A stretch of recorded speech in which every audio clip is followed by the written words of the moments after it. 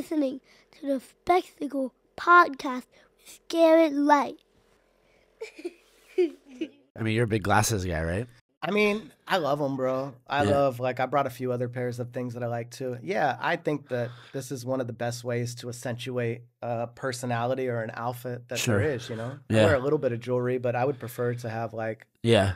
Some really cool shades. Like, Yeah, the- you're right. Glasses just are like very character Like it's the first thing you see, so you can really Mhm. change your whole character based on a certain pair of glasses. You can fly under the radar, or you can like make a statement. yeah, And it, even flying under the radar can be your statement too. that part too. Yeah, I feel like you've, uh, like from an early age, obviously struggled with vision, right? Because you wore glasses super young. Anyway, like prescription. No, No, no, not at all. My sight is amazing. Okay. So the the glasses claimed to me in the movie. You know what I mean? Yeah, Uh, for sure. oddly enough, the glasses claimed you. yeah. Yeah. Um, oddly enough, I was uh I was originally reading for the role of Yeah Yeah, okay. and they just kept trying to throw me into squints. And uh, you know, my my mom and and management at the time thought that Yeah Yeah was a better role in the script, and they were like, "No, we really want him to read for squints." So uh, that kind of came about, and I booked that role, and then put the glasses on, and uh, you know, Sandlot was a really cool thing because we shot it chronologically, which doesn't happen in film very often no, I wouldn't think. and because we did that all of these characters were able to develop in real time as david mickey evans the writer and, Yep. and director was able to like be screaming at us with a bullhorn say this or try that like me and patrick renna's roles uh, that played ham you know maybe they weren't as big in the original script and then ended But up they developed. developing Yeah. over the time, you know, and only because we shot it chronologically was that able to happen Right. and for these roles to blossom into what they are, you know? Was that like uh, how David worked? Like, did you do that? I know he did Radio Flyer too. Was a yeah, big. Uh, yeah. So the the story with him was, you know, he wrote Radio Flyer. Yeah. And then That's he a heavy movie, but very good. very heavy, yes. But very good. yeah, I very loved it as a good. And then he started to direct it and they fired him like 2 weeks into production. And as uh, the direct, as, as the, the director. and no left him with nothing else. Um, Like he didn't. no, he was still a. He's. I mean, he wrote it. He still had producer credits. Sure. And he said it was the best thing that ever happened to him in his career because interesting. I believe it was Richard Donner. I want to say that that directed it after him. So they recast the film. So they went away from his cast. They recast the film, and then he got to sit behind Richard Donner on his project and watch him direct his film.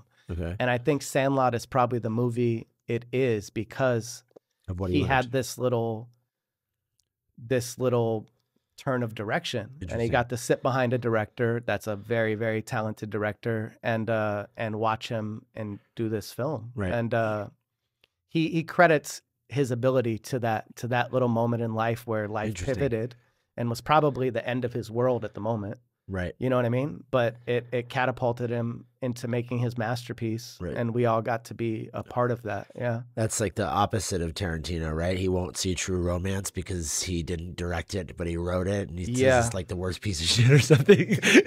so I guess those two uh, directors Quentin has have- a Quentin is a very uh uh I mean he sees things the way he sees things, Yeah. you know. And, Yeah. And we've seen that following your heart in your career path can have Yeah. can have great results as well. Sure. You know?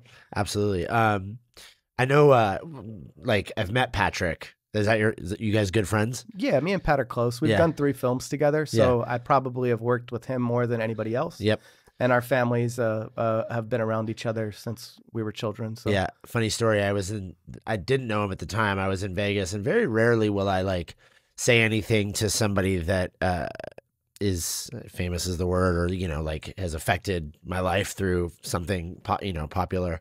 And uh, I was, I was, it was late. I was in Vegas, and I saw him at like a craps table, and I think I just like what I'll do is I did this to Andre from OutKast once at the airport because I don't put stickers on my car, and I never have. But I once had an OutKast sticker on my car because it felt like it was the only thing valuable we're sharing. So, anyways, I, I told Andre that story.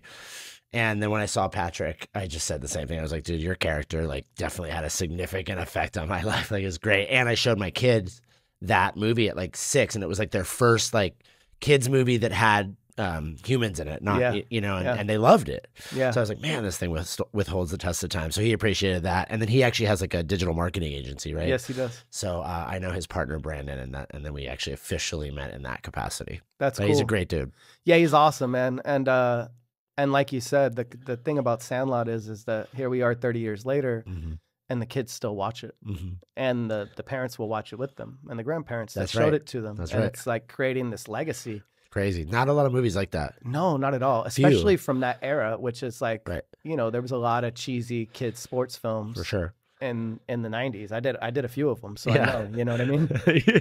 and then uh yeah that's a cool story actually is that I, I once again back to david mickey evans i kind of credit him in this is that him and tony richmond who was the the dp on that um brilliant uh operator and and director of photography but david showed him old kodak chromatic film and he said this is what i want it to look like and because it's set in 62 Right. and it's like this time capsule of Americana that's shot in this weird like chromatic look. It kind of just is timeless and it doesn't really age. You know, you can't tell that it was done in the 90s or if it was done beforehand. Right. And for some reason, you can still sit down and watch it and be like, wow, this is all still very effective. That's great. Yeah, Yeah. and it resonates with various generations because it Yeah. speaks to like their childhood and then ours because it came out at our time and the whole thing.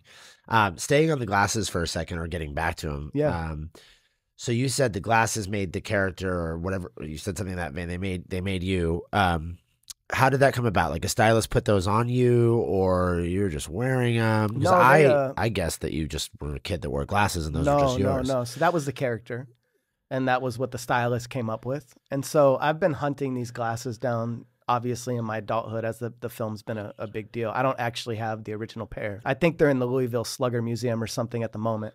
But, uh, you know, I guess you grow up in LA, you get to see that, like, you know, some people get to choose their handles and some people don't, you know? And I feel like, you know, Squints kind of chose me and the glasses. I put the glasses on and that became a piece of, of my life, so to speak. But if you And, look uh, up any photo of you, actually, there's tons of photos of you wearing glasses. So, like, did that develop into something you realized that you like? You love, like, you love eyewear. Clearly, I mean, you contact, you know, you want to talk about eyewear. You're doing something in the space. yeah, it's part of Yeah. you. I think that it just fits and it's organic. And obviously, like, you know, what did Jimmy Iovine tell Dre? He said, What are you going to do sneakers for? You don't know nothing about sneakers. He said, You need headphones. Right, Well, if Squints was going to sell something, right. It'd be glasses. I mean, besides cannabis, obviously it would be it would be glasses, right? Sure, yeah. So, uh, but I waited on that for a long time. So this project came very organically, and it wasn't. I'm not a gimmick guy. It's not like what, what can I do to make a dollar? Sure. You know what I mean? And I never want to do anything that isn't isn't collectible or that is isn't well done. You know what I mean? I want to create art Yeah. in in every capacity of my life. I chase doing you know cool things with cool people yeah, and uh and so this came about naturally and i felt like okay finally it's time to uh to see this through and and see where it goes yeah. I think when I just did a little research on you, it seems like to add to what you're saying is just like you're focused on doing things that you're passionate about. So when I look at like your self-directed stuff or self-produced, it's like you must like poker, you must like cannabis, you must like glasses, yeah and you I don't know if you're a cinephile, but like obviously like hot, like you Yeah, love, love film, and yeah, you love pop film. culture So music so it's you know chasing those things, cool things, but those are the things you know that's subjective, right? Cool, but those are the things that you find interesting. yeah definitely Right on. Um, and you're from you told me today you're from Texas, but really you're from Reseda. yeah i'm from la i'm from And the valley One of my best friends actually went to school with you. He said uh, he called it Sutter the Gutter. yep that's is that right is that true? Sutter middle school yeah Sutter Middle School. yeah the, What the- was what was growing up there like? um the valley was pretty rough in the 90s bro Yeah. and i mean it's always had like people think of it as the suburbs but the valley has a very Yep. um, it's played a critical role in the development of the Los Angeles area, right? Yeah, for sure. And and in like the hierarchy of all of these vices and things that have gone on. I mean, obviously the porn industry and all of these things have kind of been front row central to the valley, and so you know all walks of life Yep. and uh, and stuff have have came through there, right? It's the place that everybody leaves from everywhere else to go and live a better life, so to speak, right? Sure. And what they bring with them is is wherever they came from, you know. Right. So it's kind of a melting pot. And uh, you know, in the '90s, we had the rise of of gangster rap and hip hop hmm and of graffiti. hmm And uh, I think that because of my age, I was at the forefront of the merging of punk rock, hip hop, skateboarding, graffiti culture, and all of these elements that we see as as running the fashion industry now, right? Mhm. With the Supremes and, and these people getting appointed to Louis Vuitton and and and hip hop culture and pop culture and punk and all of these elements Most definitely. becoming high fashion, right? And so I kind of got a front row seat to all of that. And because I lived in the valley in LA, I had a like a I could interact and see all of these things in real time as well, right? Because all of these people are in in this this area, you know. I'm sure everybody in the entertainment business has lived in the valley at one time or another for the most part in Sure. LA. All the studios are there, right? Yeah, Yeah. yeah, So everybody's kind of around there. So it was cool, man. Sutter was a pretty rough school. Um, it's in Canoga Park. Uh, very blue collar. Right. Um, you know, we were bad kids. Um, But didn't you get this role? Like your fame kind of came before that, right? you know, it's weird though because it was because of the timing. It's not what we think of as fame today, right? Sh- sure. You're so far removed from it. Not you do. fame, but like you were the kid in that movie. Yeah, I was. Yeah. But you were running with a little bit of more of a dangerous group of people. Not I- I- danger. it wasn't really dangerous, but it was yeah, we were definitely pushing the limitations of Correct. what was Correct. what was yeah. uh, gray and white area. You kind of hope sure. your your kids don't do that. Uh, they won't for sure. No, I know, It but was a- you- that you don't want- in time. But Correct. yeah, no, You don't want that. bro, not at all. Yeah. Yeah, and um, you know, yeah, I was doing film, but I kind of lived two lives. I wasn't a getting at. Hollywood person, Right. You know what I'm Yeah. saying? We came into this business by accident through somewhere else and ended up in LA and just kind of never left. Did you feel like that that maybe could have been an option for you? Like I, I guess having not the, in, the the knowledge nor being part of it in any way, like some kids like took the Holly like Cor- the Corys or whatever. Like, Yeah, did it feel tangible for you as a teenager that you like, oh shit, I could be running like in a Hollywood lifestyle on Sunset uh, Boulevard? I Or, like, in. did I you feel very comfortable and realms. rece- you lived in both? Yeah. Okay. So I had I have Hollywood friends, Sure. and I was around to see, and then I had friends from the neighborhood Right. that were totally different. You know, I feel like you felt more comfortable in the neighborhood. I I know do. I do. I feel more comfortable. in the I'm from. Venice. Like I don't. I feel more comfortable in that. Like Yeah. that sort of. It's not rich, but just like that communities Yeah. makes me nervous. Venice, it's Venice not has a rich, rich, rich communal history, obviously. For sure, city, yeah. yeah. Um, yeah, I felt more comfortable Sure. from the neighborhood Yeah. and around my around my people. You know, Right. I could go and do both, but I wasn't a Hollywood guy trying to live a Hollywood life. Right. I, I like I got that this is these people are full of shit and this is kind of smoke and mirrors. You know, Kind of. Yeah, not kind of, but you know, like it really is. Um, And right, and you know, I think it all has say its place. there. Yeah. Yeah. Yeah. But uh, I appreciate both. And I love that I had the opportunity to develop my my life out of both sides of that, you know? Right. Um. So let's talk a little bit about this eyewear project. Um, Yes, sir. What can you tell me? What what's going on? Um, I don't. I don't know. Um, so I did bring the the samples, but Okay. uh, we actually went a little bit different of a way from this. Okay. So, um, I have a friend uh, that makes custom sneakers. He goes by Ease Kicks. Um, he's very talented. He's a he's actually a, a, a professional in jujitsu in the jujitsu field. Um, he's a teacher and coach and has a studio. Um, but uh, you know, we met and uh, started working together on a on a pair of sneakers. And uh, he said, "I got a friend from New York. His name's Spencer, and he made this piece of art for you, and he just wants to give it to you, bro. If you, if I can bring him by." And uh, he used some of my cannabis bags, and he like incorporated this thing and made me this dope ass uh, piece that was like drug war veteran and had my bags in it and stuff that he just creatively thought that was cool, you know Yeah. and uh, he gave it to me. And Spencer has a company called Stown, and he makes um, these really cool. Uh, I have a pair in the car too. I should have brought them up, but uh, he makes these really cool sunglasses um, that are very uh, just outside the box. It has a totally different look. Sure. Um, like totally original kind of yeah, shape. the, the, and- the frames drop down, so they're kind of a low setting, like like Okay. drop down with a big oversized frame with a big arrow on the front okay. and they're just very artsy and artistic. Sure. And uh, as we were talking, he was like, you know, I've been handcrafting and uh, these out of Italy, and I have a really good understanding of the space now because I've been making these. And you know, would you be interested in doing a Squints project, of like a, a collab project with me?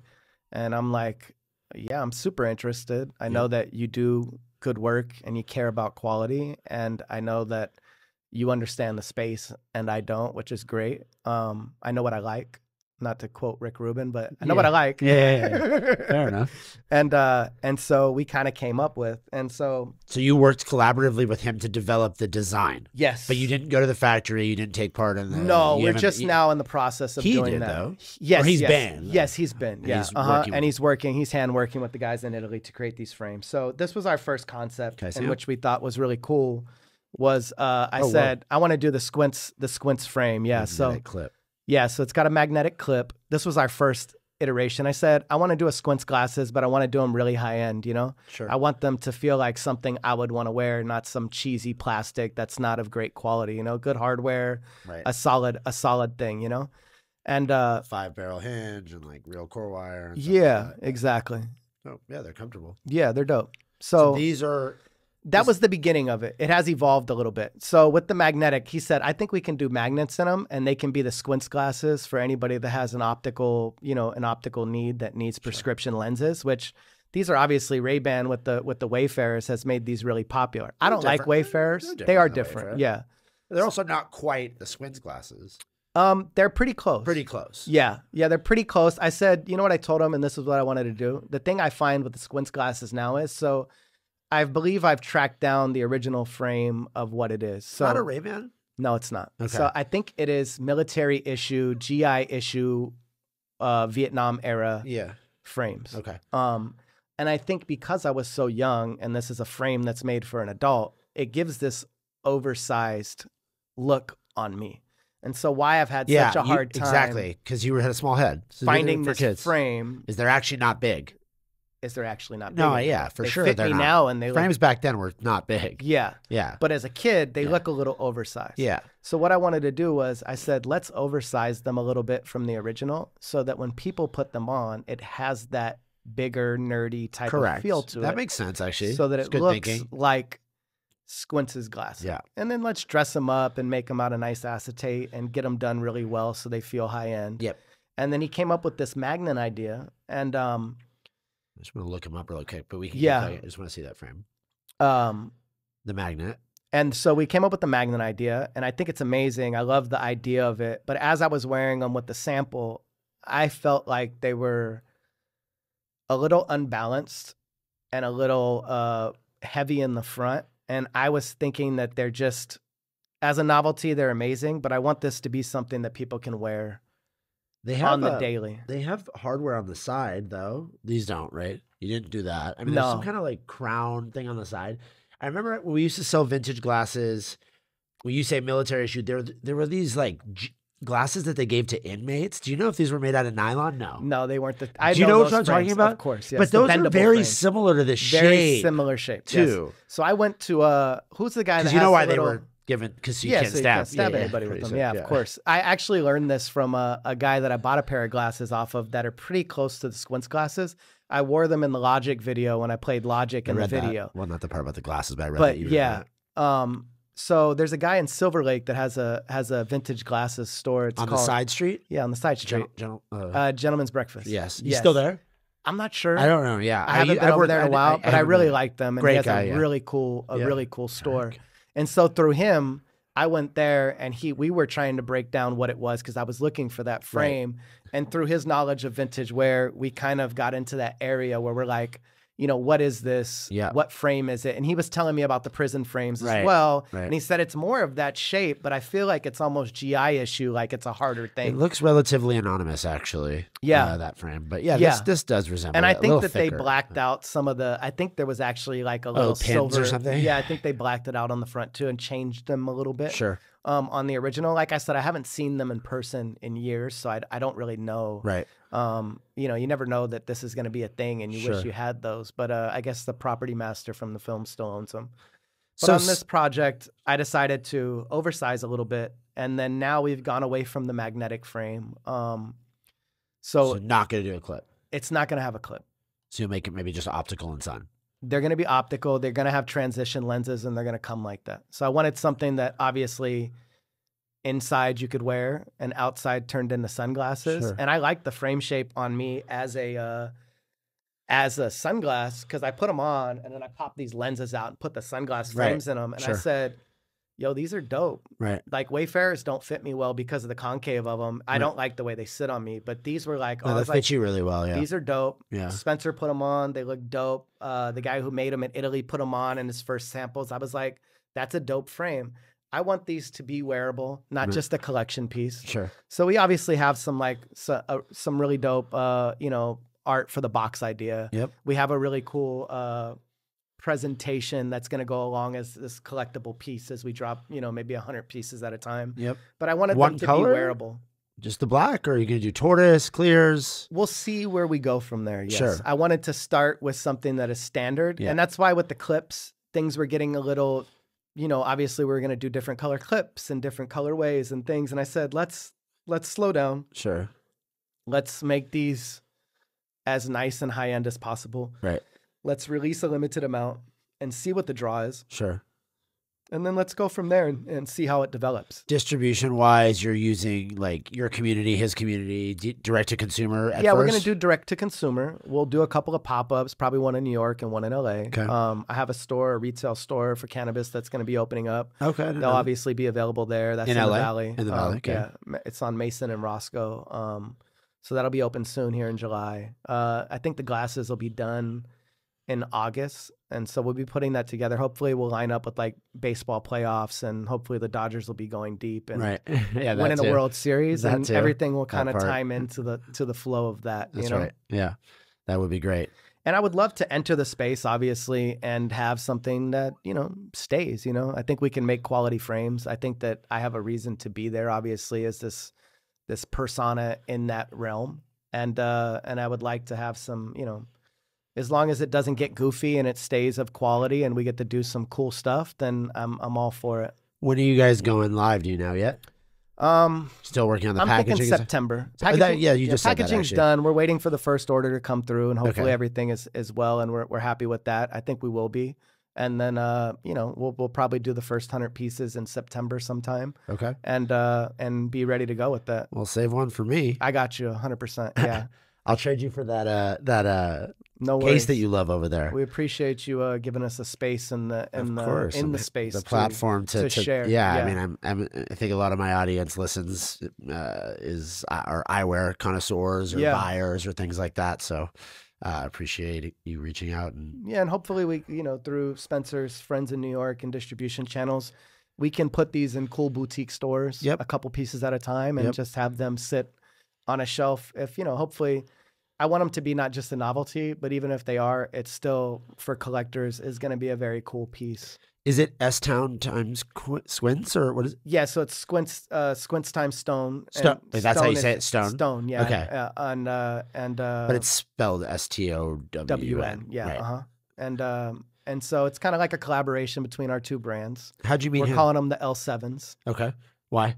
Uh, you know, the L7 weenie thing. L Seven Weenie. That's right. yeah, right. you know, so yeah. we, we figure we'll call them the L7s. And I like it's that. kind of a square thing. And Yeah, it- it's dope. You know, we put the been planning it for years on the side. And uh, yeah. it's kind of a, a cool play on the, the lineage of the Squints, Yeah. the Squints brand. I'm glad you were serendipitously or whatever fortuitously given the the Squints role. Yeah, he has a great role too, actually. Uh, great role. But I think the whole Wendy Peppercorn. And Yeah, just the whole- glasses, It's just like it, like it, like it's- Squints really was was the guy. Yeah. and Ham, those two. Yeah, and I mean, I think a lot of Squints is just people ask me that a lot. Is this like, is this character a character that you got to play, or is this just you playing this character? Good question. And you know, and I like to think in acting that you know we see that you know movie stars tend to play the same characters over and over again, Yep. and a lot of that personality is typically just them Sure, being that. person. that's probably like ninety percent of people that act, yeah, or maybe more. Probably more, yeah. because you're, you the opposite is like a character actor who really like right. There's only so many Daniel Day Lewis. Correct. Exactly. You know what I mean? Yeah, or Jim And I Carrey appreciate or the craft. whatever. Yeah, yeah, yeah. But for the most part, Jason Statham is Sure. Jason Statham. Correct. Fact. in a different setting. And I love him. And I, I love him I love the good films. You know what I mean? Yeah. Uh, hopefully, I can grow into his position at some point. As You kinda like- Uh, you- yeah, I yeah, get that a get- lot. yeah, there you go. So, uh, no, I love it, but I, I like that too. I like that. You know, maybe this is just me playing a character, and that a lot of a lot of squints is a lot of of my own personality. You know? Can I, I? I wanted to ask. Like, I didn't ask you how. Um, how acting or like how did you get into like how did you successfully land roles? Like is it your family like made you do it or like you got lucky and knew somebody? Just chance, bro. I was in Texas. I was a little kid with long hair Okay. and cowboy boots, and my uh, my aunt took my girl cousin Melissa, that's a little bit older than me, to a talent agent, and she was doing pageants and stuff. Okay. And she took her to this talent agency, and she was just babysitting me at the time, so I was just tagging along. And I had a lot of energy and was super bright and sharp as a kid. And uh, I was about four or five years old at this time. And so she took me with her to this agency, Kim Dawson. And I was just running around the office making people crack up. And they were like, fuck, we need this. We need to send this kid out. We Got think it. he'd be great at this, you know?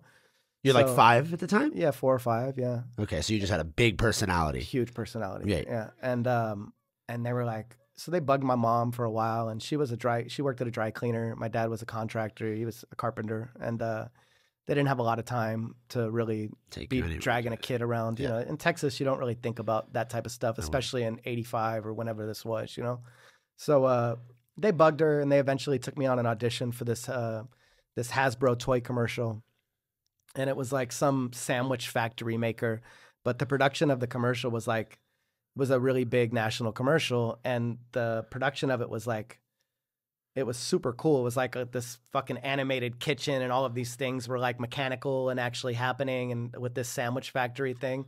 And so my first audition, I booked, and uh, it was a big national commercial. And after that, I booked some film, some like little southern regional film, and I pretty much just So you, I would book anything. You were sent me yeah, you were hitting at a high rate. You Yeah. just you you you'd audition and book. yeah, everything pretty much. Wow. like instantly almost. You know what I mean? And uh, You weren't shy at all. no, You were given you can't read, so they just it's short line like not a lot of lines. I have a crazy memory. A crazy. So they're telling you what to memory. say. Yeah, and I can just and you're just nailing it at yeah, this just age. repeat it back. Yeah. Yeah.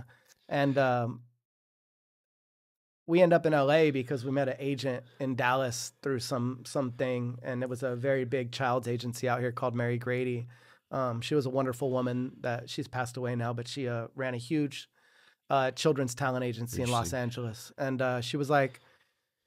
Come out for a summer or come out for a pilot season or something and let's just see what happens, you know? And so, you know, my mom and dad split up and uh, she decided to take me across the country to LA and we kind of landed and never- started working and never left. Wow. And you just continued to book. Yeah, uh, What was the before first- Sandlot, I did yeah, Father of the Father Bride, Yep. and uh, a bunch of commercials and, and like you know regional, I mean TV little shows and TV stuff, shows and guest the- stars. yeah. I was on LA Law, I had a Yeah. reoccurring role on that. Okay. So I was just, you know, not like crazy sitcom status, Sure. but I was booking a lot of good projects Yeah. and a very wide range of comedy, drama, commercials, this and that, kind of doing it all. So I just continued to work. Then Sandlot, and then you know we You've done stuff contract with since, uh, Disney, and uh, ended up on Freaks and Freaks Geeks with all the legends, and uh, that was a big show. huge, bro. It was such a cool thing. to Were you a regular on that show? I didn't watch it, but I know I it's was a, I know it's like a um, cult. I did like of- four or five episodes out of ten, so Okay. I guess I'm almost a regular, Sure. you know. yeah. And uh, that was a lot of fun because obviously there was so much talent there, and it's Judd Apatow's first show, That's and right. And uh, just all of the directors and writers and Paul Feig and and, and Victor Sue and all these guys that produce this show is like it's comedy royalty, bro. It's For the, sure. the heavy hitters of everything that came after that was No you know on there, you know, and it was a cool set to be on to just see all of these great these great minds just kind of creating art, you know, for this short period of time. So yeah, I've got to do a lot of really cool, fun stuff. Um, you know, you never know. You're just a natural. So it's just the answer is, I mean, you just we just heard the story, but you're just kind of a natural at it. Like you didn't have to try that hard. Yeah. You just were a big character. They give you the lines, and you just would nail it. Would you? I yeah, mean, I mean, I kinda- did. I did training and stuff. I'm and I sure, did the whole tour of but it- that as being part of the But business. it came naturally to you. It came natural to me. Yeah. Yes. And at some point, I started to think about it, and I was like, man, I don't. I don't even know if I like doing this. And it's kind of like, you know, it just comes naturally to me. It's easy. I still book stuff. Yeah, Maybe this isn't the business for me. but you're a creative. Do you, uh, are there other parts of the industry that you think now that you're a forty-something-year-old man that like you like more like writing, directing? Because you've probably done a little bit of everything, right? Like you've written some Um, stuff, or I haven't written anything. Uh, Okay. You know, I'm a Gemini. I feel like I'm a good orator, and you know, Gemini's rule the pen. So I'm sure if I sat down and focused in that area, I would be decent at it. ADD Gemini who can't Yeah. sit down and write a, a script. I'm a ADD Aries who can't sit down and write anything either. But yeah, Um, you know what it is? It's like uh, if I sat there and I, I, I guess if I have the time to tell a story, then then yeah, I could see myself in that role, and I think it's probably more fitting than being in front of the camera for me as well. Um, I haven't got to that that point in my life, but definitely I see myself in the production side of entertainment at some point for sure, in, in some capacity. have you ever thought? And I guess I think I just asked this as a fan of comedy. Have you ever thought about like stand up or comedy or anything like that, or is that not you? I don't know. Uh, you know, it's a pretty tough job. It's totally different. I mean, yeah, it, is- no, it would totally be fun. But there is um, cross. Some lot many have crossover. Yeah, I like uh I like structured sitcom comedy and Yeah. things of that nature. Um, that obviously comes easy to me. I, you know, I've never been. I don't know. I've never tried, so who knows? Yeah. I mean, it, it might have been a calling I missed. I, I, I can talk. I can talk shit with the best of them. So I guess uh, yeah. it wouldn't be a bad thing. But uh, it, it just wasn't something that I got into. You certainly have the acting chops for it. There's a lot of acting, with I it, but writing appreciate. too. I appreciate the craft of it. It's Yeah. it's a it's a very uh, amazing, amazing. One of the, I guess it's one of the best ways to connect with people, right? I think so. Yeah. I mean, because you're always bringing up real life topics. What else? Where do we go from here? I did just do a small role in a film. Um, Burner from Cookies, uh, the rapper and The cannabis entrepreneur. cannabis, yeah. Uh-huh. Uh, he uh, produced a film. It's kind of like a, a gangster flick from San Francisco that's about these guys that are bipping cars that are uh, breaking into the cars and stealing stuff. So okay. He did a really cool film in Frisco and gave me a dope part in it, and uh, uh, just a little cameo. He's Where gonna do a uh, few where can we see it? It'll be it's coming out on uh, November 11th. Okay. Um, I'm not sure exactly what what distribution chains it's getting dropped through yet, but Okay. uh, it'll be posted on socials from all of us. And, Have you uh, seen it? Or are they still editing and stuff? I like haven't that? seen it yet. Probably still Um, editing the trailer just dropped, but he's got a, a young cast of characters in it that are amazing, and it's very authentic. Okay. And he shot it in the streets of San Francisco, which Okay. is an incredibly difficult place to shoot a film, by the way. Yeah, I would imagine. Yeah, it's nothing- chaotic. It's chaotic. It's Yeah. not a lot to be able to lock down. You No. know, everything. You can't park. A lot of hills. So but uh, like he did it. It's a full length feature, full length feature. and like did it like legit, like like tried to get permits in San Francisco. Oh, It's like- everything, right? Yeah, yeah, yeah. Okay, to the point. So, Yeah, yeah, so SAG, self funded, the whole thing. Yeah. with the city of San Francisco. So that's what you're saying is chaotic to do because there's Oh, just yeah, nowhere to pick because you can't shut down. It's No, you can't- small. It's tiny, San Francisco, but it's dense. it's densely populated. Right. And you're like trying to, you know, break into cars and do all this stuff Right. and lock down streets and having base camp be out here on an island and over here and travel around. So it was a it was cool to see them in work producing this film and uh the you know the production company that produced it uh I'm excited to see. I'm a big fan, and this isn't, I don't know who's listening. Maybe some people that work with me wouldn't like it, but I'm a big fan of chaotic work environment, environments when you're trying to create something special. Yeah. Not to like a fault, like where it's toxic, but like I think creativity is spawned oftentimes from, you know, a group of chaotic, passionate people. Yeah. And some of my favorite creations over the past 15 years in this brand have been when there's been a lot of chaos. So um, that recipe resonates with me for whatever it's worth. Yeah, I, I agree. I'm I'm in this uh, you know obviously I'm in the cannabis space and it's a very chaotic space altogether, constantly moving and changing. Um, but I feel the same way. I like a little bit of turmoil. I Right. want to feel a little bit of ruffled feathers, and I like I like you know shoot or shoot, bro. I like to see people that are out there swinging for the fences every. Absolutely. day and taking shots. I love and that. I totally agree. Hats off to Burner. I'm not afraid to miss. You can't be afraid to miss. This dude takes big You're gonna shots, miss. bro. Yeah. and he, some of them work out and some of them don't. That's but the you see that that's that's the way to greatness, you know. And Right. for somebody to take on a, a personal passion project to shoot a major motion picture in the streets of San Francisco to tell a story about a city Sure. that's never been shown in that light, actually, you know. But there's no like, there's no like crime dramas based around San Francisco, really mm, I'm sure. Yeah. so it's like a and it's such a you know a pillar in the underworld community since the 1800s to the gold rush and everything else it has such a rich rich history uh, it's cool to see somebody telling telling their story and for him to do it with his own with his own financing and like really put his money into making cool shit i like Yeah. people that say damn there's nothing cool around right now i'm gonna spend my money and make something cool Yeah. and then figure out how to sell it That's an interesting point. Like, how could that be true that San Francisco has never had a crime movie? It certainly has had decades of crime. Yeah. Nobody's ever done a movie set there. I mean, there's a couple of The like only thing I could think of is like Oakland Paul. Newman, like that scene. Isn't like the car chase Bullitt scene. Bullitt yeah. scene? Yeah, there's. Isn't I mean, they use the streets for things, Sure. but there's not, Not like, like nothing really telling based about on the city. San Francisco environment, Yeah, right? yeah. Or about these characters and this That's right. lifestyle. So That's right. it's you know it's we know with streaming things have been a little dry, Yeah. so there's a lot of content. I find myself flipping through it more than actually focusing yeah, on uh, something. for sure.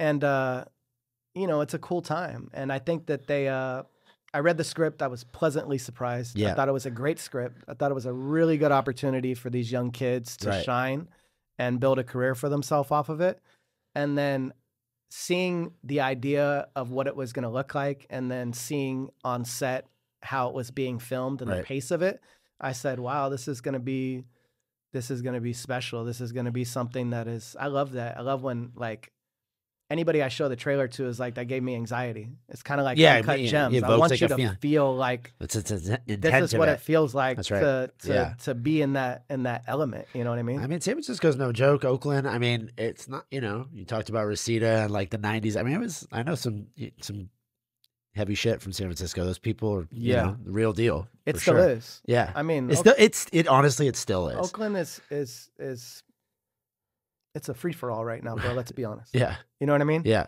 it's chaotic yeah. they're in the streets Now doing gang side shows with fucking AK-47s out of the car and shit. They The have their cops own don't language. show up. Yep, And the Bay has always had its own lingo, its own thing. hundred percent. It probably created a lot of the the motion in rap and popular culture, and never gets the credit for it. So they got a big chip on their shoulder. There is a Mac Dre documentary that I've seen that's really good, and a few other things that I've seen about Yeah. car culture there and things of that nature. But it somehow continues, It flies under the radar unless you're like from here and you've been there and you've seen some of those things. You have to go find it. The And- masses don't get it. They they really don't. And, No. and and San Francisco is so aesthetically beautiful. Like if you drive into it and you see the bridges and the So bay, beautiful. you you know, you don't go down market at night. You know what I'm saying? Or you don't fuck with Oakland. Like you cannot see that stuff quite easily, but it really is kind of the majority of San Francisco. But it's this weird dichotomy. It it's is. this weird dichotomy because I know a lot of tourists that come from Europe and like, oh, we're gonna shoot up, drive through Big Sur and go see San Francisco, and they're like, it's so beautiful. And it's like, right, but you didn't really like fuck with it. You know what I mean? Like I went there so much because I went to school on the Central Coast, and we just go up there and like. Yeah, my eyes got open to some shit. I've seen some shit there on Yeah. a- just on accident, you know. Yeah. like and I mean, uh, if you stay on the streets, you're gonna see some crazy shit. It's For a sure. wild city, for sure, and it's not like LA where it, just spreads. Yeah. You know, I think LA has gotten a little now where you're Oh, like just actually sprawling, Seeing it. You yeah. used to have to go to an area to see that life. Right. Skid Row is obviously spread out Right. at this point, Yep. but you can't miss it in San Francisco. No, you really cannot. You got five square miles, bro. You're Yeah, exactly. Yeah. You're gonna be walking out of a 30 million brownstone, stepping over somebody shooting up or Right. something, and it's just Right. part of the game. Right. Everybody has to share space. That's There is right. no space. I'm looking forward to seeing this film. Then I'll, I'll, I'll definitely look for it. Speaking of stealing cars, someone told me the other. Have you seen these Kia? Bo- you know what Kia Boys yeah. is? yeah. I don't know. I just I don't know read- much about it. I don't know much about it. either. I read a little bit. Yeah. It's. That shit's crazy. I read. We read. My wife and I just bought a minivan. It's a fucking Kia, but this shit's taking place in Chicago, so I don't think. Uh, I don't you never know. The- but it's really is a crazy, But they can thing. like steal the. It's so off topic here, but they can just steal the car with like a USB and like a, it takes like th- 21 seconds or something.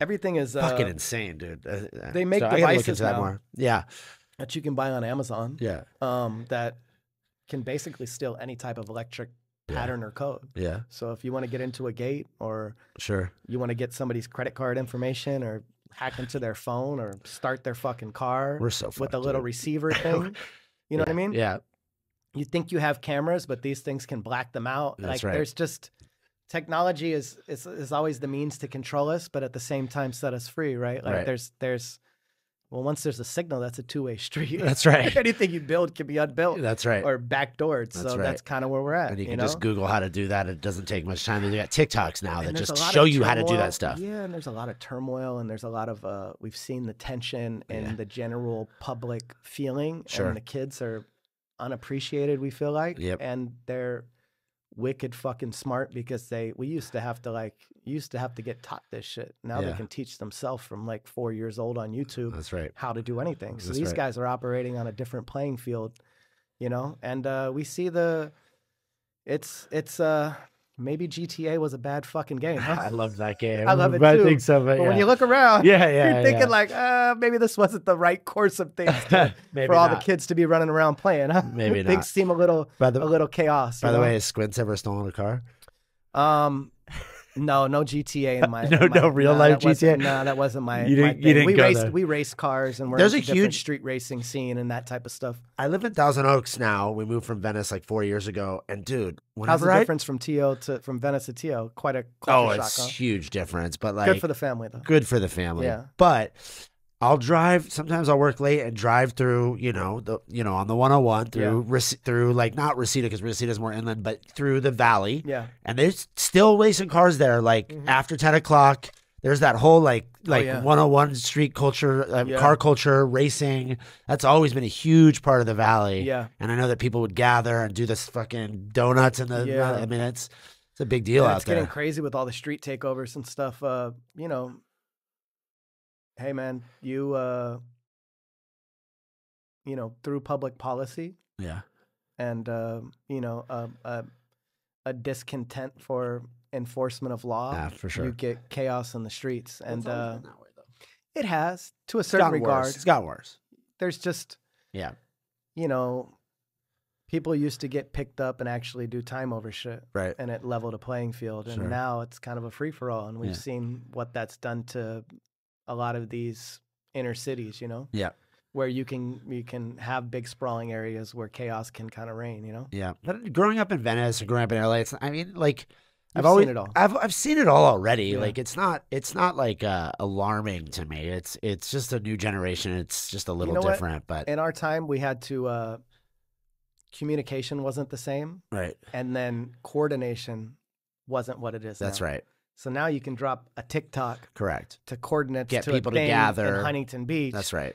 and you got chaos in the streets immediately because somebody had a following or it spread to a certain thing. So Sure. Now word of mouth back then. Yeah, it was word of mouth. Yeah, Yeah. flyer parties and stuff. Yeah. These kids are operating on a different on a different dialogue. Much quicker You know, they they can and uh, organized. they can organize Yeah. and plan and and do different stuff, which That's is, you know, it is what it is. Yeah. Um, you always see yourself in LA. Like this is you, you're a big Angeleno, You- don't and you're still in the valley. You've been in the valley. Yeah, I love the valley. I love LA. I love my city. Uh, it's getting hard to rationalize raising a family here anymore. To be honest, you got I seen I seen a guy yesterday. I posted about it on Twitter just because I was driving down Sepulveda, and there's a dude just sitting there, butt ass naked on a bucket on the side of the street, bro, dick out, just like oh my god.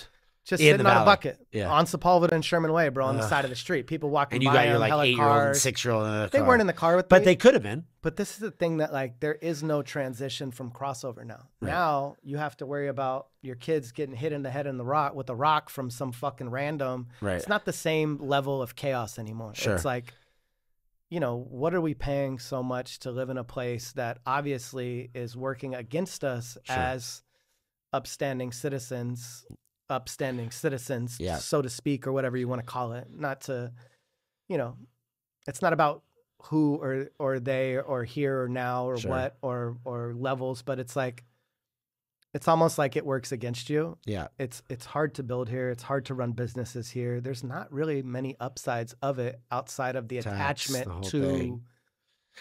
This place. yeah, something that it's so it's it's you can make it tangible if you spent time. But there's something I love about Southern California, about Los Angeles. I'm a huge, I you know, but everything you just said is so fucking true. And I and I will say that Like we have no sense of community. You know why? Because they make it difficult to build community. yeah, you know, you have to go completely out of your way to I mean, build your own eat- community. Who can eat two years of rent to try to open a coffee shop or like any of these restaurants that just open and go under? You know, hundred percent. spend a million dollars building a restaurant. You know how many plates you have to fucking sell to get a Right. million dollars back, Right, or never? right. You know, even if it stays open for the next fifteen years, which the the you know that that's not, Yeah, and everything is too hard. and it's easy too to build stuff people aren't eating out anymore. These, and these little communities, they they allow businesses to thrive, right, and and through that you build community, You Right. build spaces where people want to come and open a bookstore and open Right. a coffee shop and open these things and and take care of the community and and have nice nice greenery and create a walkable like livable space. And right now we see you know boarded up buildings and and uh, chaos and Yeah. people sleeping outside of them. It's just kind of a I have to believe. unfortunately it's a it's it's not looking good. You know? There are other states that don't have as much of that for sure.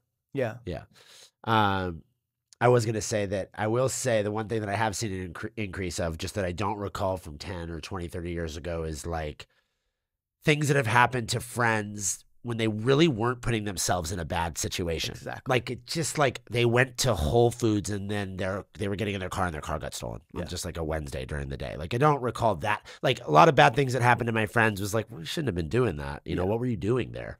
Um, He wasn't I- in Echo Park trying to buy dope from some dude or something. Right, or, like, you went and got a. I, I, we used to go to MacArthur Park to get our fake ID, Yeah, right? And it's yeah, like nothing ever happened to me, but like I heard a couple of things. It's like, yeah, you're in fucking MacArthur, MacArthur Park, Park. in 1996, is dude. It's like zombie land now. right, but now, like I've had like a girl that worked for me. She literally like that's a true story. She was just coming out of Whole Foods and then she opened her car and then somebody just took it. I know people that That shit didn't happen that- as much when I was a kid. No, I yeah. know girls that uh, a friend of mine uh, was telling me a story about a girl he was he was seeing and and she has a like a, a spa downtown and like some fucking dude just hit her in the head with a rock. Right. Fucked her up, bro. Right. She was in fucking hospital. yeah, random acts of violence. Super random. Like that's what I'm saying. If Yeah, I that know that happen as I much don't as a go over kid. here and I don't enter myself Sure. into that element, I should be okay. Right. And I felt safe in LA. And Right. obviously I'm a very fortunate person. I don't see a lot of that stuff. My eyes are open. I've Right. been around enough to know my environment and what's going on. But like, I don't want to have to worry about my wife or my kids or people that aren't so versed in understanding the urban environment. For sure, they don't So, come like, from here. They don't. You know, they shouldn't have to worry about that. Right. It shouldn't have to be like just chaos in the streets or seeing some guy that's just randomly walking up and punching women. Or sitting on a bucket naked in the middle of the day. yeah. Just why? Uh, well, know? with all that said, anybody listening, if you're thinking about coming to LA, don't come here, right? Just don't come here. We don't, it's not good here. Stay away. Please, I Uh, hope we've sold you on the idea that you should not come here. Come be a tourist, spend your money here. Yeah. Don't move here. You're gonna come here anyway. I and know. if you're chasing a dream, it's still I one of the best places fucking on earth. But, Absolutely. But uh, we have options now Yeah. because technology moves different, and right. uh, you can find a digital platform to do things elsewhere. So. Yeah. Yeah, man, having a property somewhere with a little bit of land where I have some peace of mind. That's I think right. the the I think I'm getting drowned out in the chaos at this point, and I need a little bit of peace and serenity to continue to grow. I Yeah. might I might be reaching that that point in my life. You know? Okay, well, hopefully this project brings you a little bit of joy in terms of, you know, uh, I don't know, a, a track towards It's doing something you're space. passionate about. No, but I mean, creating Yeah. something you're passionate about, seeing it flourish, bringing people into your community. Those are all the things that kind of like, it's its own form of like peace and serenity. Uh, creation is my favorite. That's right. Nothing, even in the cannabis space, nothing. Uh, bringing something to life from a thought is like the only thing that fuels me in life. Right. It's not monetary driven, Right. No. right? The money's cool. Yeah. I mean, money's the res- result of good work. This is what you get rewarded for doing yeah, but something it's good. not what I'm after. I'm No. not thinking, oh, this is gonna f- make a bunch of money. No. But having an organic thought and then pulling it out of here and bringing it into the physical Right. is like, I get excited about that. Sure. That shit makes me want to hop up out of bed every day and keep creating. It, Right. it makes me feel like, yo, this is what it's about. It's about bringing things into life and collaborating with cool people and uh, actually seeing an idea through, having the thought and then seeing it and then seeing the reception of it. in the Bring joy to other people. Yeah. is is amazing. Yep. And that's what fuels me to keep to keep going, you know. Yeah. Same. Absolutely. Um, well, that's a more positive note to end on, I think, unless you have any specific questions for me Um, about eyewear. I mean, how is the space? How do you like it? What's uh Yeah. Um, tell, tell me a little bit yeah, I'll tell you a little your- bit my your, uh, my perspective on eyewear. and your experience in the in the business. Yeah, I mean, so obviously, I think you know I was born in the industry. My father started Oliver Peoples. I, eh, you know, initially. Great brand by the way. Thank you. I've been a- I've I've loved I've loved that um those frames since I was younger than I could afford to wear them Uh, probably. I mean, the biggest brand of the '90s for sure. And if you Uh-huh. were in LA at the time Yeah, and working in Hollywood, in any capacity, bro, like yeah. everybody talked about it. and I love it. those frames. yeah, directors used to go in there, and they did when I opened my store in Venice in 2009 too. And just like they'd be working on a set, and they'd be like, the, the styling was bad for glass, and they'd be like, I don't just they'd send a stylist to the store and just be like, just buy fucking 20 pairs of Oliver Peoples, come back to set, we'll figure it out, right? So Yeah. like super iconic household name in in this city. Um, I didn't plan on getting into eyewear, uh, but went to work for my dad. And he had sold his company to Oakley, and like I just fell in love with that entrepreneurial spirit idea. I wanted to create my own community. Um, so I, I kind of knew at the time coming in, it was like post recession 2008. um, that there was this opportunity to create like a youthful brand to kind of pick up where Oliver Peoples' left off because they went a little corporate. Yeah. Um, and at that time, people were real hungry, I would say, for uh, newness, and there was a, a lot of it, and a lot of brands spawned um, in that era, like 2009 to 2015. Um, but the ones that really withheld this test of time are the ones that kind of, I mean, like I think like ours, where you created this like very specific identity and had like a very um, engaged community. For us, it was Venice Beach on Abbot Kinney in 2009 through 15. You know, real people. Yeah, for I mean, I was there, you know, early two that. But but that was but that was like, my yeah. Everybody that's there now is there because of that era. I mean, at the time, it was very like now. Yeah, I mean, now there's like Adidas on the street and stuff, and it's not yeah. now. It's but at not the time, it was like I remember Abbot Kinney going to auditions when I was a kid. right, So I remember the evolution of Venice again, and Right. when it became a creative space for artists, right, and what brought all of the money there that you see now. And Right. like you know, a sponsor, these guys will tell you as it got, yeah, you know, Uh, uh, gentrified. Yeah, Yeah, of course, it changed a lot. a better word. yeah, know? no, yeah, no, that's what it is though. Um, so anyways, we, you know, we built this great brand. I think for us, it was a very, you know, a very welcoming space. Not to speak to, I mean, you know, obviously the son of Oliver Peoples is certainly starting on first or second base, but definitely executed a great brand, great quality, great style, something, you know, price wise that the market needed. And people were really receptive to it. Um, post recession too, which maybe speaks to now, like, creating something at a little lower price point. We were made in China, which is different. I kind of trying to change that a little bit now, but at that time, um, you know, having an iPhone, I didn't really care personally. I was like, you know, good product, I'll I'll use it.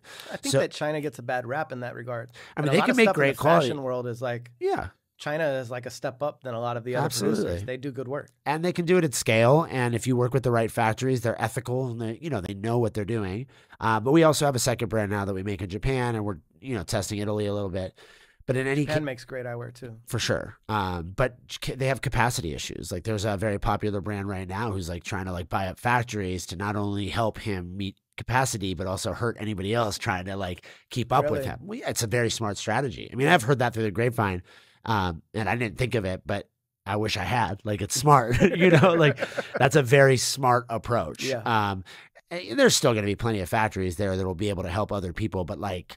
Like you can't scale if you make in Japan. It's very challenging unless you just scale up your pricing. They're very boutique at, at doing Yeah. high end work. That's right. They create great works of art, but Right. we know that they have a declining population. That's right. They have a very old population. That's right. They have a young population that is moving away from the towns and moving to the cities and Yep. So trying they to don't do want to work in factories making things. uh, Yeah, crap. They're a- not. Yeah. I've been looking at property over in Japan actually just because Right. there's a lot available and I love the culture and the idea of it and uh and uh it's sad to watch it it's kind of it's I see that through the property value that things are kind of falling apart right Yep. I would think so. Yeah. Um. So just general thoughts on the space and from when I entered it and where it is now is that at the time that I entered, it was still very much like you know. You know, there was not e-commerce and there wasn't digital marketing, so it was kind of word of mouth, and you had to have great product, and um, you had to build a community of sales reps and direct and sales directors and distributors, and you know, get to know your accounts and have them spread the message. Um, now, if I think about it, it's just so heavily digital now. Like I cannot open my phone without get. I I actually wanted to. I just don't have the time. I wanted to start writing a list of every time I saw a new brand marketing a pair of glasses to me. I, I I think if I'm being conservative, it's it's probably like 15. I, I think honestly, I've seen maybe 40.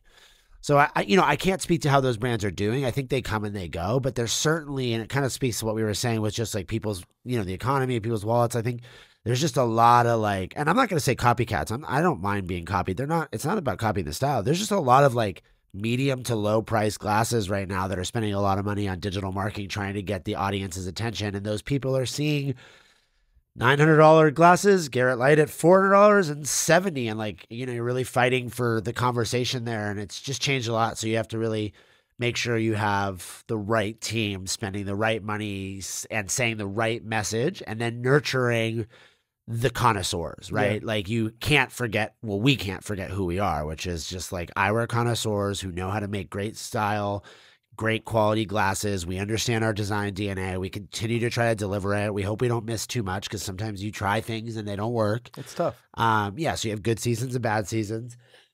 and then trying to like keep up with the Joneses on like staying in the conversation because you have this revolving audience of 20 somethings that don't maybe know Garrett Leight. Maybe they don't even know Oliver Peoples. Maybe they do. but they're getting their information through targeted ads. Yeah. And it's like, how do you convince them without them having a physical experience in a store? And then how do you grow from there? So it's an exciting challenge. It's just that would be my general perception on like 2009 through 2015 was still kind of my dad's era in terms of like you could have an old school thought or strategy. Yeah. You can't really do that anymore. No, like start like changed. maybe one every five years will be able to penetrate the sort of eyewear market on the wholesale side and the thousands of stores globally that sell eyewear to people who can't see, you know, and or want sunglasses. You know, whereas when I started there was like 20 people coming in and maybe didn't all make it.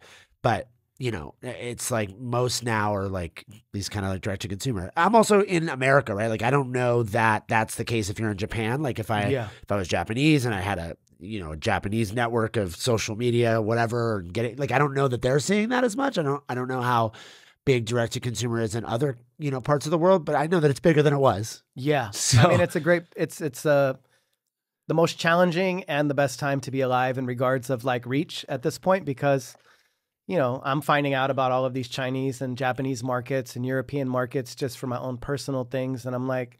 The world is a big place, and you can touch everyone now. Daymond John, who was the creator of Fubu, like you know, Fubu came Yeah. and went here, but Fubu's still huge in Korea, Right. and and it's still doing numbers. A lot of his brands in other places, Right. and there's always another place for things. Who are your uh who do you look up to in the space that kind of shape uh what you want to bring in, into that or or that is currently operating that you still like their their direction? You know, I, I, I, I you could argue that I'm biased or un, unbiased, but I really do think that like, and my dad's not involved with all it. They've done such a fucking good job of like selling out, which is the American dream, going through five or six years of being like, you know, losing a bit of their core customer because it was like, oh, they're Luxottica now, and then somehow like really finding their identity of the like the Hollywood brand Yeah. and um Luxottica spending money where a lot of executives maybe would not see value. Things that you can't quantify, whether it's like a sexy CEO. I don't have another way to say it. Not Yeah. that he's handsome. I mean, just like he's out in the streets, like yeah. mingling with movie stars and Uh-huh. like overpaying a director to do an ad for like a 30 uh, 20 second YouTube spot or whatever whatever it is. Like I think that they've done a really good job of, you know, uh, branding themselves over 40 years now, right? 1986. So it's close to 40 years. Wow. You know, and I think had a lull when they sold but really found their stride. So I really it's kind of funny that I'm the son and like that's like kind of like I I hope that we we have I think we have a different identity, right? Like I think we come from a different generation, a different message, more youthful, Venice Beach versus Hollywood, more fly under the radar, more like more the writer sitting sitting at the coffee shop and less like the actor, you know, in the film. Um and I hope that we can kind of mimic that. That's certainly one. Um uh that's just really the one that stands How do you out. feel Luxottica does having a biggest the biggest share of market um in the luxury eyewear community? I mean, I think they're. I, mean, don't know much about the well, company it's itself. probably I just, just know not- them as a, a as a, a mega juggernaut in the space. You know. I mean, the thing that we learned through the pandemic is that the juggernauts have the ability to spend the money at a time when nobody else does, and a huge opportunity to do so correctly, and then be miles ahead of you when you realize that that's what you also needed to do. Yeah. right? So I, I it's not so much a test. I mean, y y look, there's definitely Luxottica haters in my space, but like you don't get to where they get without having like really talented people and a great strategy. Um, and they really understand their brands, but they're they have great competitors now too. Maybe not financially, but like LVMH has built like a Yeah. thing called Thelios, and they've bought eyewear brands and Kering Group, and you know there are other uh, conglomerates that are like all kind of are seeing the recipe which Luxottica basically built by buying Oliver Peoples in the early 2000s and then bringing it to where it is today. Um, and I'm not even like a historian buff. I probably should be. They probably did so with another brand through the 70s and 80s, but I think there was just nothing like Oliver Was Ray Ban their first? Was Ray Ban their first brand, or was that an American brand that they I mean, they purchased as well? Persol too. I mean, they bought amazing. yeah, they bought all that shit. Um, uh, I think but when they bought Oliver Peoples, they created like a separate thing called like Atelier, which is where they put brands that are more like lifestyle luxury, like Oliver Peoples. And then all the other conglomerates kind of followed suit and they all kind of have like these lifestyle luxury that they're buying. So that, because they have a lot of like um, licensing models that don't warrant, like, don't yield as much profit, right? Yeah. So I think they've all kind of figured out like they want a brand. Um, and um, yeah, I mean, to answer your question, I mean, I, I, I admire what Luxottica does. I think that my customers certainly don't like them and they try not to buy glasses from them if they can't avoid it. They like to support independent brands. Um, but you know, independent brands struggle with giving free shipping or fucking Yeah. fast delivery. Like Luxottica can do all that stuff, Yeah. so it's a double edged sword. They have a but, uh, burn rate that that a, a small company can't can't hundred mess with. I mean, yeah, they're turning over hundreds of millions of profit, Yeah. right? Like, we're yeah, we can't do those things. So, um, like I said, I admire them. They're here, they're obviously here to stay. Like, it's unavoidable. So, um, yeah, uh, those, that's how I would kind of look at those two things for sure. Well, to wrap up, I think like I just want to say that um, there's nothing more Hollywood than a good pair of shades or a good pair of glasses, Love and that. nothing more can set a tone or pull an athlete together than than or create a personal style Right. than a pair of glasses. I definitely feel like Superman when I throw the shades on. I say at Squints a lot that like you know, Superman went in the phone booth and and and took the glasses off and I kind of go in the phone booth and put the glasses on to become this character and uh it's a it's an amazing space and I'm happy to step in and and uh try to offer the world something there and uh and all of my classic uh everything I can think of in Hollywood or in classic Americana or globally has something to do with eyewear and the way they wear them. Whether it's James Dean and his reading glasses, or or you know Paul Newman or or Steve McQueen in a pair of Persol, and Right. uh, you know these things are are timeless and they create a vibe and and they make a simple T-shirt and jeans uh, be a star. You know. Totally. I agree with you. Welcome to the show. I wish I could remember the exact Kenny Powers quote, right? Where he says Yeah. like, Welcome to the show, motherfucker. Or something like that. All right, dude. Pleasure. My pleasure. All Thank you, girl.